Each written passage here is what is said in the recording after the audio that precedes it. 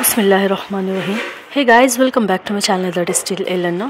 This video is all about 8th class mathematics self-assessment entire question paper answer key. Okay, this is just an answer key of your 8th class mathematics. Okay, just check it out, your answers, whether you have written correct or wrong.